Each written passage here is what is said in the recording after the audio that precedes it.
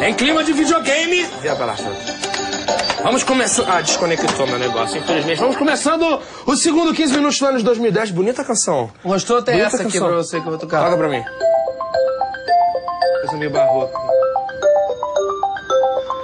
As mulheres de peruca branca, assim. Queria ter vivido nessa época. Lambuzar as minhas mãos de coxa de frango em um reino qualquer, no interior da Europa.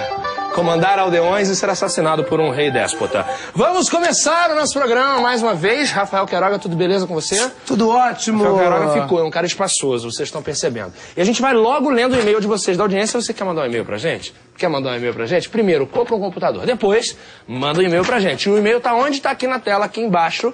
Pessoal da direção arrasando aí. Olha aí. O e-mail é da Giovanna Maiolini. Qual será a sua descendência? Giovanna Maiolini do Japão, provavelmente. Né? Giovanna Maiolini. O Cristo Redentor de Eloy Mendes é o título do e-mail. Meu nome é Giovana, ela é redundante. Eu moro em Eloy Mendes, Minas Gerais, lá em Minas. Há alguns anos, minha cidade resolveu construir um Cristo Redentor um metro maior do que o do Rio de Janeiro, que vai custar um milhão e meio de reais. Eloy tem 30 mil habitantes e até pouco tempo atrás não tinha maternidade. Que coisa mais ridícula. Olha, construir um Cristo um metro maior do que o do Rio de Janeiro só para tirar uma mondinha no interior de Minas Gerais é, olha, é mais ridículo que, que- que cuidar de bonsai, não é? Não- é mais ridículo que, sei lá, fazer vistoria no caiaque. Peraí. É, mais, Meu. mais ridículo do que sair pra festa fantasiado de, de pessoa que não tá fantasiada. Exatamente, é mais ridículo do que bigode com costeleta grande. Olha só, gente, olha que coisa ridícula. Um milhão e meio de reais, 30 mil habitantes. A conta. 50 reais por habitante. 50 reais pra ter um Cristo um metro maior. Agora sim minha vida tá melhor que Eloy Mendes. Que agora nós temos o Cristo grande. Não tinha referência pra minha casa. Agora eu falo, ó, passa o Cristo grande, que é maior que Rio de Janeiro. Aí virar a segunda esquerda, você vai chegar na casa de Eloy Mendes. Porque qual é a utilidade disso? Nenhuma. Agora imagina se o neguinho fizesse isso com qualquer coisa, e aí, aí. fizesse, por exemplo, com o manequinho do Botafogo, É fizesse um verdade. manequinho enorme mijando na galera. Olha lá. só, impressionante assim. Ah, cachoeira! Ah, cachoeira de mijo, isso é impressionante. Lembrando que, bom, a gente falou aqui no Botafogo, mas esse programa é um programa totalmente igualitário que trata Totalmente. todos os times de forma completamente igual, sem privilegiar nenhum, né? Fogo!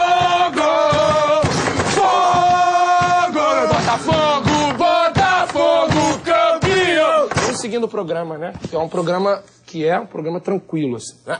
Bom, gente, olha, tem cidades que não tem um Cristo Redentor gigante, mas tem um nome bacana, como, por exemplo, Pão de Açúcar, em Alagoas, um abraço pra vocês, e Nova York, no Maranhão. Bom, muito bacana. Agora, isso é uma sacanagem, né? Porque a estátua, eu não sei se é uma homenagem ou uma sacanagem, que ela tá sempre lá parada, numa posição, né? Com a, com a espada na mão, em cima de um cavalo, bradando uma coisa bonita, né? Por que, que a estátua não tá numa coisa assim, uma posição corriqueira? Tipo, Borba Gato faz miojo. Aí tá o Borba Gato fazendo um miojo. No acampamento Bandeirante, né? Por que não? Marechal Rondon tira uma soneca embaixo da embaúba. Não, tá sempre um momento, é um momento glorioso. E ainda tem o pessoal que rouba um pedaço da estátua. né? Isso é uma coisa grave também, É, né? é terrível. Por exemplo, já viu o neguinho que rouba lá o óculos do Drummond? O óculos do Drummond, Óculos do aqui no Drummond, Rio, aqui em Drummond fica sem Copacabana, sacanagem. Agora, e o pessoal que rouba espada de estátua? Tá lá o maluco guerreirão, tá lá, tipo, defendendo com a espada, vai lá, rouba a espada. Roubei a espada. É humilhante, pra Humilhante, estátua. É humilhante pra pessoa histórica. Humilhante. Quem é a pessoa histórica que tá ali, querendo, né? Pô, o Zé de Alencar ali no catete, nego, ah, fazendo chifrinho do Zé de Alencar, tira foto com o Zé de Alencar. Isso é uma sacanagem, né? Agora um momento de reflexão. Se a estátua é da liberdade, por que, que ela tá parada? Pensa nisso um pouquinho, tá? São coisas bacanas da gente pensar e refletir, não é? Agora, tem gente que rouba os óculos do, do nosso querido Drummond aqui em Copacabana, causando um prejuízo imenso ao Rio de Janeiro. Na verdade, poderíamos alimentar 18 capivaras com esse dinheiro. Pense nisso também. E outra coisa, tem gente que rouba, tem mania de roubar as coisas, tipo cone. Tem um cone na rua, a pessoa fica, ai meu Deus, não Eu tem tenho ninguém. três. Ah, tem três? Mas isso é Três. crime. Cuidado. Não, mas é legal. Olha, a pessoa vê um cone, ela quer ter o cone. Pra quê? Por que, que a pessoa vai querer ter um cone em Pra casa? dar blitz no filho, na hora de sair de casa. É verdade, o filho tá no quarto, você não quer que ele saia, vai pro quarto, filho. Papai é conservador, papai, eu não aguento mais meu filho saindo. Eu vou aproveitar este cone e vou, faz... vou abordá-lo na saída do quarto. Este menino não tem mais jeito. Qual é, pai?